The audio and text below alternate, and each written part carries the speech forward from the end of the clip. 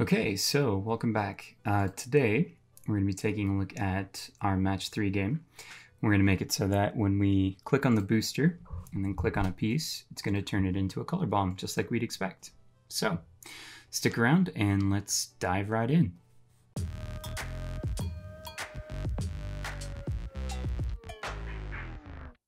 Okay, so welcome back. So where we left off here was we have our board and then none of our bonus pieces, our uh, booster pieces are showing. So today we're gonna make one of the booster pieces show and we're gonna make it work the way it should. We're gonna start with doing the color bomb. So let's uh, jump right in here. First thing I wanna do is I wanna go to my bottom UI scene and this is what's dictating which of these three are gonna show up. So I'm gonna make a few changes here just to make my life easier and we're gonna be doing this a little bit better later on, but for now, I just want to get it up and running so that I can test to make sure the booster buttons are going to work. So I'm going to go to my HBox container, and before I activate booster buttons, I'm going to set that booster info so that one of them registers as being a booster. So in my ready function here, before I activate the buttons, I'm going to say booster info dot booster info and I'm going to grab element one. I'm going to set that equal to color bomb. Now in this activate booster function here, can get rid of process delta. In this activate booster function, I'm checking to see if there's no booster info, and that's false. And I'm going to add another, like an else statement here. I'm going to say else. Uh, what I want to do is get child i dot check active and I'm going to set that to be true. So if there is something stored as what should be the booster, we should have one of those pieces turn active. So I'm going to save this and let's try running just this scene really quickly. We should see one of the booster buttons turn active. Hmm. Why did we not see that? We've got our HBox container here. Booster info i is equal to null. So let's take a look here really quickly. Let's make sure this booster is in the right group. Yep. Um, if is active, oh, I didn't assign an active texture to this did I? Yeah, it doesn't know what its active texture should be. So uh, what I'm going to do here is I'm going to change the way that we have this set up. So instead of having this active texture as an export, I'm just going to have the active texture referenced. And then I'm going to make some references to the different textures we could have. And I'm going to make those exports. So we're going to do export of type texture var, we'll call this color bomb texture. We'll do another one and we'll make this add counter texture. Do another one and we'll call this destroy piece texture. Now you can have as many of these textures as you want for however many of the different kinds of boosters you're planning on having. So you can just kind of go nuts with this if you want to. Um, for me, I'm just going to be doing these three. And then here, if it's active, I'm going to do a little check here, which means I'm going to need to pass in some more information. So right now, the HBox container is passing to this check active function. It's telling it if it should be active or not. I wanted to tell it if it should be active and then also tell it what it should be active as. So if, if is active is true, I'm going to add another one here, which I'm going to call type.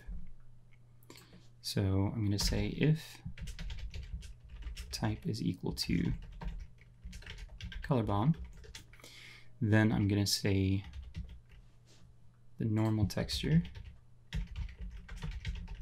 is equal to color bomb texture.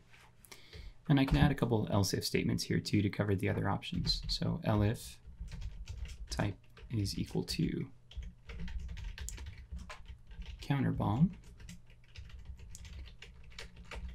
texture normal is equal to counter bomb texture. That's what I just called it, right? I know I just made it add counter texture. Okay. And then we'll do one more. Type is equal to, yeah, destroy piece. And then this is B. Texture normal is equal to destroy piece texture. All right, cool. Now, all three of these are using the same script, but they're three separate objects. So I'm going to highlight all three of them by highlighting booster 1, holding down shift and highlighting booster 3. And then I'm going to go here to my art folder, UI. And I'm going to set all three of them to have the same color bomb texture, the same destroy piece texture, and the same add counter texture. So now once I save this, I'll get an error if I just hit play because now the HBox container has to tell it what to do. So we're going to say false. And then I also want to send it the, the type from the booster info. So booster info dot booster info i. Yeah, that's all I need to do is just that. And then if we're, oh, hey, wrong one. So I'm gonna grab this, let's copy, actually let's cut that and let's paste it here for the true one. And then for the false one, I'm just gonna give it null, meaning no value for that. So I'm gonna save this and let's play this individual scene and we should see one of them turn on. All right. So, one second, I'll be right back. All right, so now I have it knowing what kind of booster it should be. And I'm artificially doing this. Ideally, you would be setting this from the level select screen, and we'll be covering that later on. That's a better way to do it rather than just directly setting it here. What I want to do next is I want to look at the booster script, and I want to make this act the way I want it to. So right now, we've got active Let's see. Get rid of this process delta. So the way I want this to work, and let's look at the game window here so I can kind of show you, is I want it to be so that if a player presses a booster button, they then have to do something else to actually use it. So like if it's a color bomb, they have to press the color bomb and then touch a piece. If they touch the color bomb button again, we'll deactivate it. Uh, same thing for the destroy piece and for the counter. Same thing, just anywhere on the board. And then they can press this to uh, deactivate it again so that that way if your finger slips here, you're not wasting something that might have some value. So I want to know when I press this, and then I want to be able to tell the grid that we're using a booster. And since the grid knows we're using a booster, it shouldn't allow any normal input, which means we should only allow this to be pressed when everything is settled. So to do that, these texture buttons already have, and we've used this before, they have a signal for when they're pressed. So what we can do is we can go to their signals and we can emit a pressed type, but I want to know, yeah, I want to know which button is emitting that pressed signal. So I'm going to have to Hmm. I'll make a new signal for each of them. And I'm going to call this signal press booster. And then for each of these, I'm going to have to do this individually, I guess. I'm going to grab the uh, pressed signal and connect it to itself. I'll do the same thing. Actually, I think I only need to do it. Oh, that's a bad way to do it. Let's not do that. Uh, let's go back here and let's disconnect that signal. Let's instead just use the uh, button pressed feature. So hold on for one second here. Okay, so what I want to do here now is take the booster and I want to go to the node. And what I had just done was created this pressed booster signal, but I actually don't want that. There's the best way to just send a press button signal from the button to the container that holds it or even to the UI itself would be just to use that innate pressed signal. So I'm going to use pressed I'm going to connect it to the bottom UI. And then when this is pressed, I want to pass on the information of which booster it is to the game board. So I'm going to create a new signal. I'm going to call this booster pressed. And then when booster button 1 is pressed, I'm going to emit signal, booster pressed, and I'm going to pass in which, um, so if it's button 1, I'm going to pass in the booster info dot booster info 1 because it's that button. And then I'll do something similar with the other two buttons here. So booster 2 I'm going to connect with the bottom UI in the same way. And same for booster 3. So then I'm just going to grab this line here, copy, and paste, and paste. And then this is going to be for 2 and 3. So, all right, that's going to tell the board, we're going to use that signal to tell the board which booster was pressed.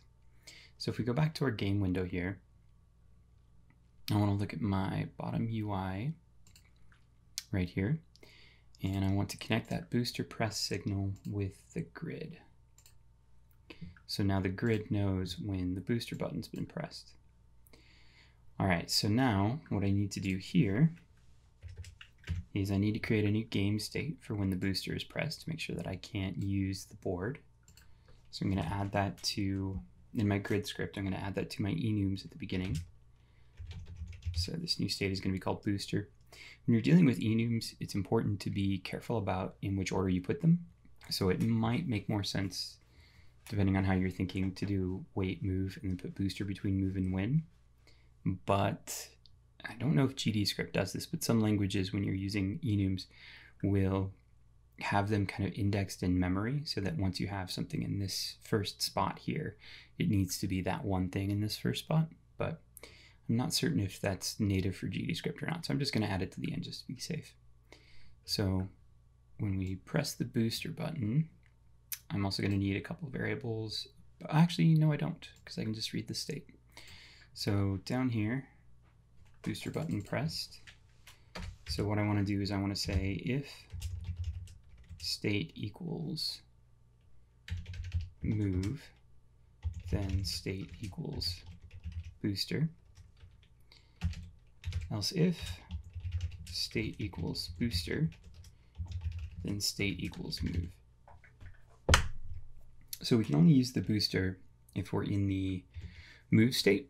And if we're already in the move state, then we're going to change ourselves to the, um, yeah, we can only use it in the move state. We're going to change it to booster. And if we're already in the booster state, we're going to change it to move. So I'm going to save that. We're going to go out of here. And I want to test this out really quickly. So let's try this out here. Okay.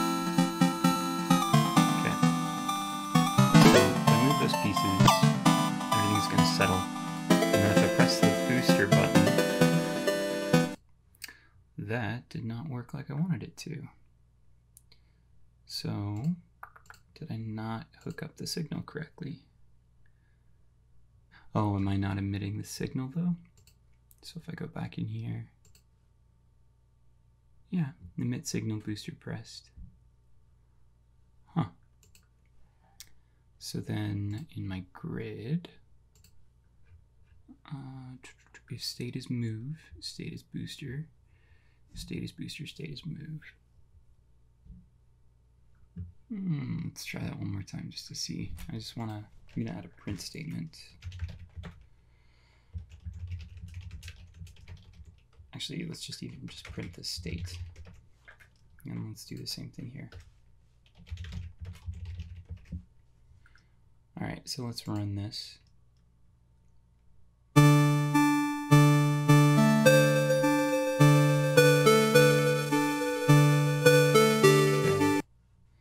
So in the debugger here, we've got an error.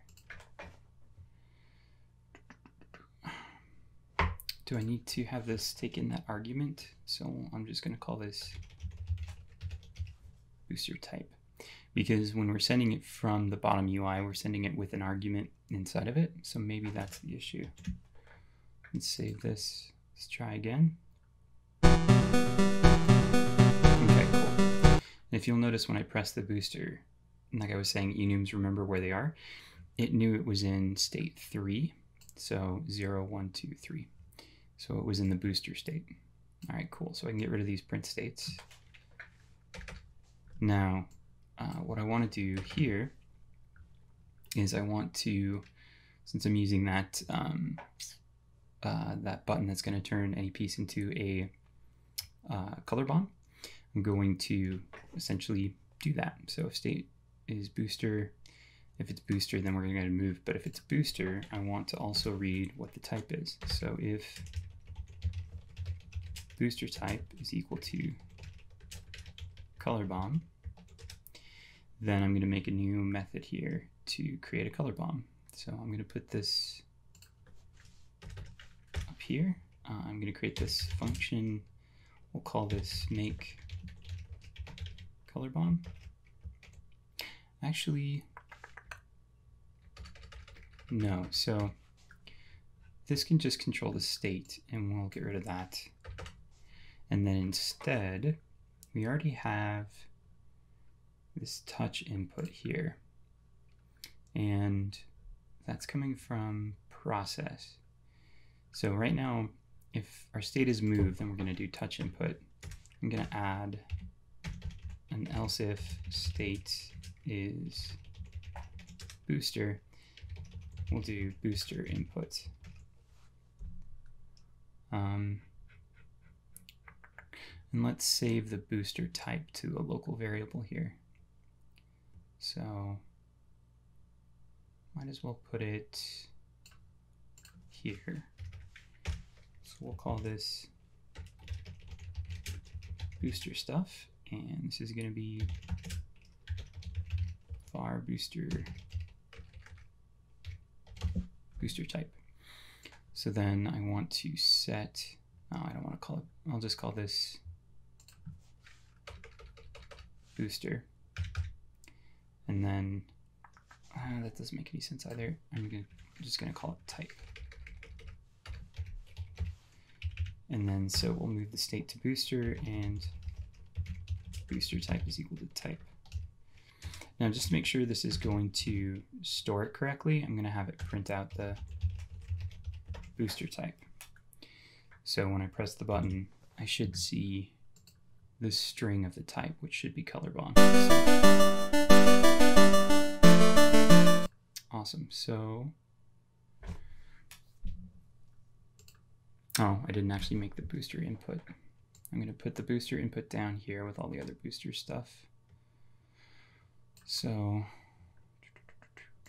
I'm just going to call this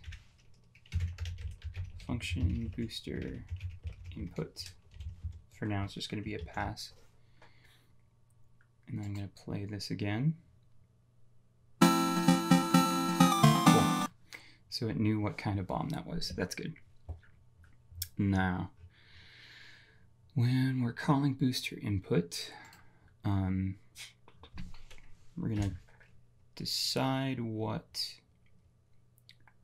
So we need to check to see if the user is clicking on the board. So if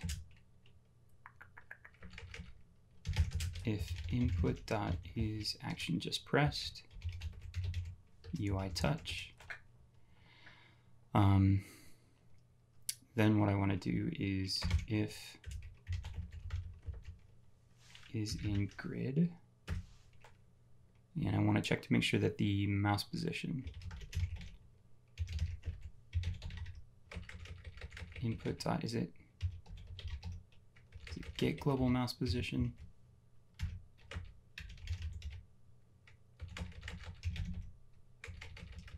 or is it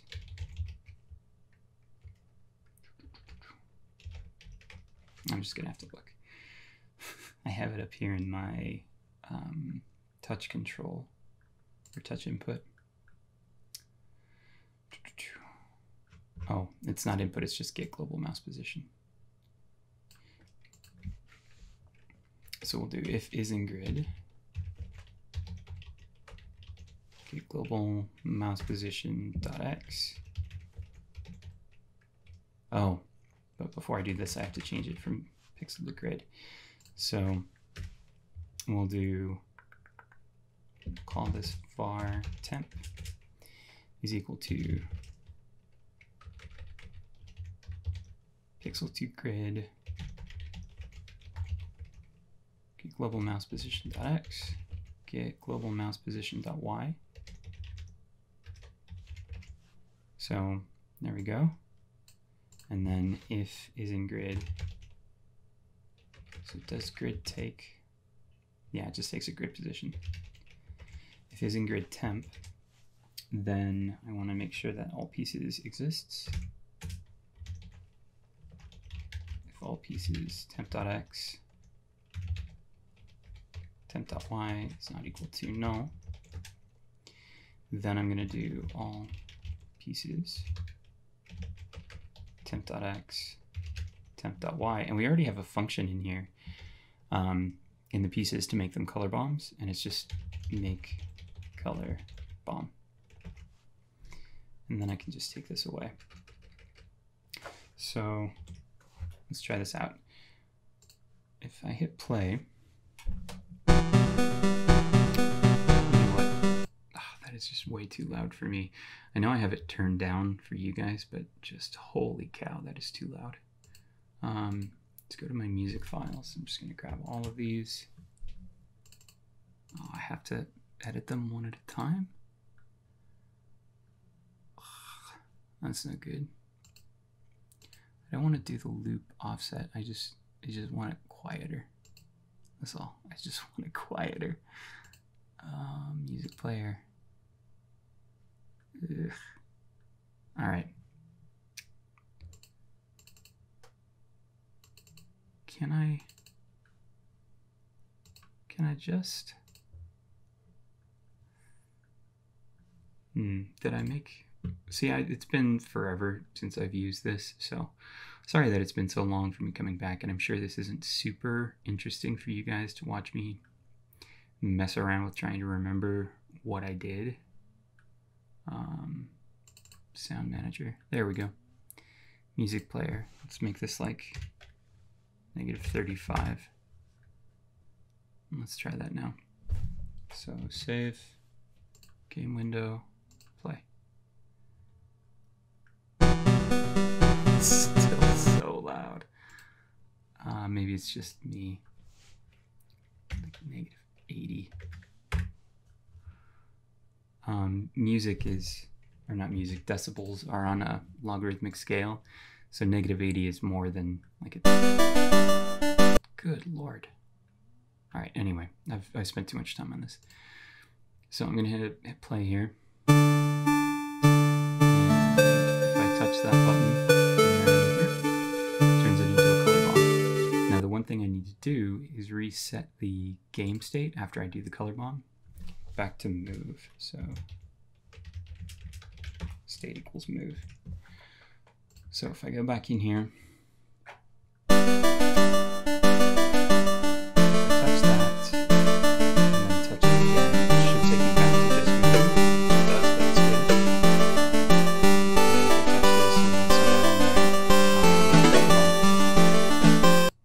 so there we go.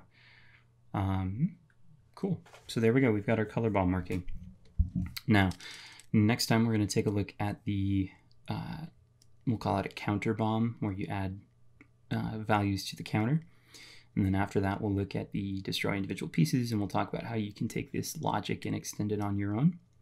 Uh, we're kind of building a, a, relatively flexible system here, so it shouldn't be too bad to take it and extend it on your own. So, um, yeah, if you have any questions, feel free to ask them in the comments down below. Otherwise, you can follow me on Discord, where there's a ton of really cool people who are totally willing to answer questions if I'm not there. Uh, you can join, or you can follow me on Twitter to find out when I post new videos. I have a Patreon that you can join. As little as a dollar a month helps me keep making videos like this. And yeah, I hope everybody out there has themselves a wonderful day.